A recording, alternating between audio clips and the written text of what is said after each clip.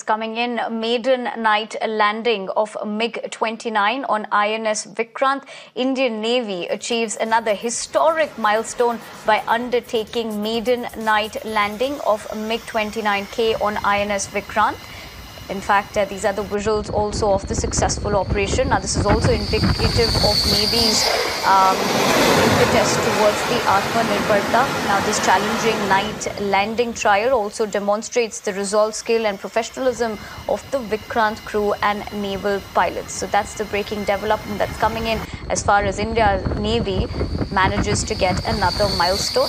The MiG-29K makes a night landing. These are the visuals that you're seeing on your screens of that successful operation, the maiden night landing on INS Vikrant.